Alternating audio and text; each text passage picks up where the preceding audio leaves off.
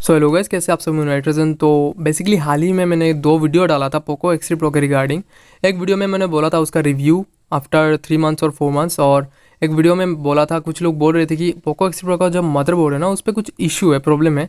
तो उसके रिगार्डिंग मैंने कुछ बोला था उस वीडियो में मतलब डिटेल में मैंने दोनों वीडियो पे एक्सप्लेनेशन दे दिया था।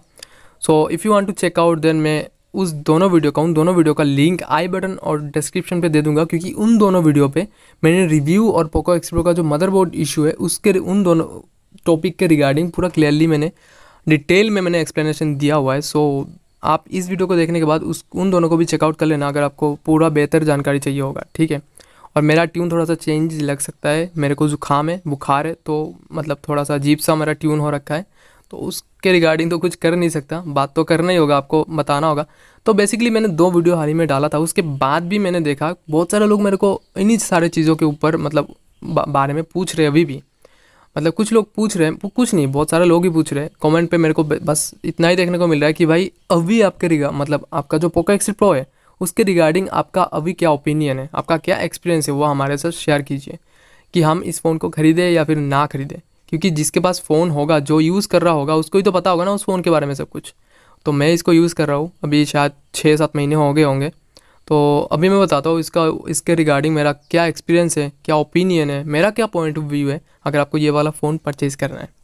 सो so बेसिकली जो फ़र्स्ट स्टार्टिंग हेडलाइन होता है इस फ़ोन के लिए तो वो है भाई, अगर आपको इस प्राइस रेंज के अंदर एक बेटर गेमिंग फ़ोन चाहिए गेमिंग फ़ोन फॉर गेमर्स ये बात आपको आपके दिमाग पे रखना होगा। अगर आपको एक गेमिंग फ़ोन चाहिए जो बेटर परफॉर्मेंस दे आपको बेटर एफपीएस आपको निकाल के दे गेम में से तो भाई ये वाला फ़ोन सबसे ज़्यादा बेस्ट है। बस इतना ही। ठीक है, इस प्राइस रेंज के अंदर कोई दूसरा फ़ोन इतना परफॉर्मेंस नहीं दे सकता, इतना एफपीएस निकाल के नहीं दे सकता, इतना हाई एंड वाला परफॉर्मेंस नहीं दे सकता, बस बेसिकली इतना ही। और ये फ़ोन अभी तो बिकता है ना नॉर्मली बिकता है उन्नीस हज़ार में, ठीक है one twenty one twenty eight G B six G B वाला वेरियंट तो वो तो उन्नीस हज़ार में बिकता है। पर मैं आपको बोलूँगा कि फ़्लिपकार्ट बहुत सारे ऑफ़र्स चलते हैं। उन पे भाई ये वाला फ़ोन पंद्रह हज़ार तक बिकता है, पंद्रह हज़ार।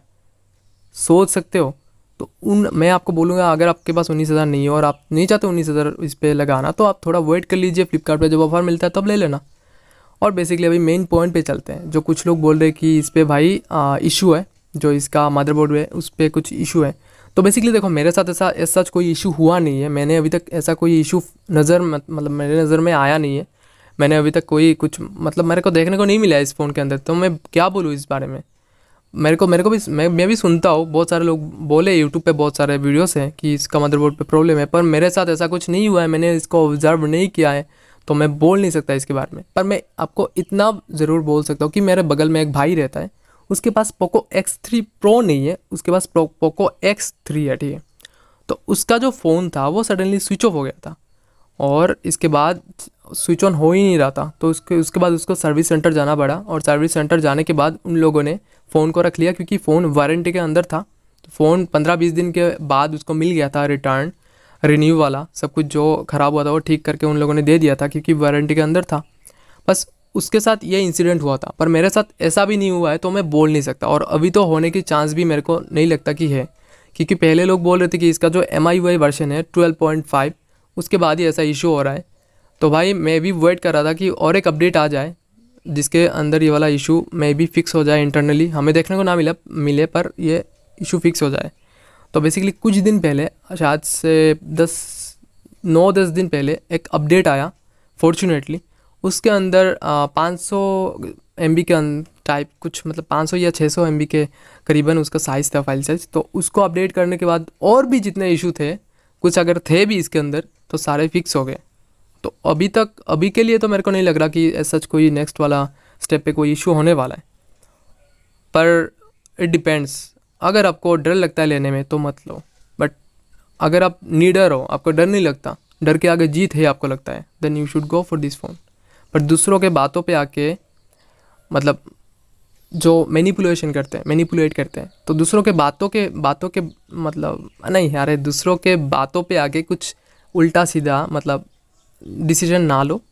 आप खुद से बैठो, थोड़ा टाइम सोचो, आपको अगर ये वाला फ़ोन लेना है देन गो ग्रेव इट बस पैसा दो, ले लो, और कौन सी बड़ी बात है?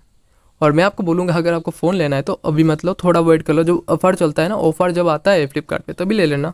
और भी थोड़ा बचत हो जाएगी।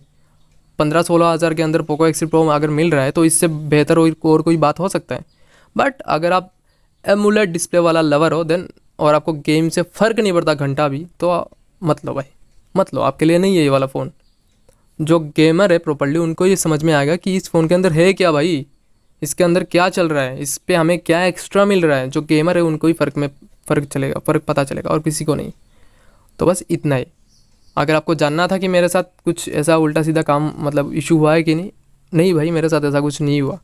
बस जिसके साथ हुआ है, मेरे बगल वाले एक भाई के साथ, उसके पास पोको एक्स था। उसके बारे में मैंने बोल दिया, पर मेरे साथ ऐसा कुछ हुआ नहीं है। मैंने कोई इशू मैंने, मेरे नज़र में आया नहीं है। So bye thanks for watching take care और खुश रहो हमेशा। और क्या?